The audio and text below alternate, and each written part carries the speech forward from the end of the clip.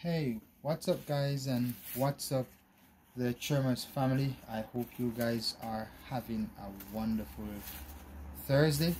And um, I know you're probably wondering what I have in my hand here. It's just a normal um, umbrella, right? This is the nice little pretty Christmas case it come with. And um, what is really unique about this umbrella, right? Not the fact that it's very sturdy in comparison to some other umbrella you know you have you have a torch and you have a nice push to open. And you can see what it look like inside. You can see what it look like here.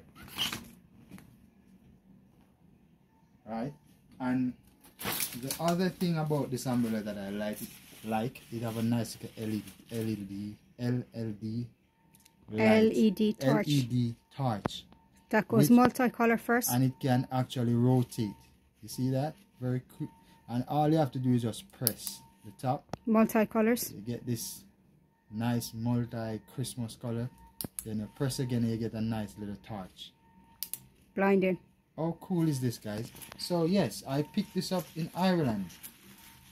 You know, and if you're visiting Ireland, check out Dunnes stores. And if you're in Ireland, you can check out Dunnes stores. Is a possibility these umbrella will go fast. You understand? Because these are the Christmas rush. So if you're here and you're visiting, you can visit the Dunnes stores. Hopefully, you can actually pick up one of these umbrella. Too cute. Yes, guys. So. I will see you in the winter.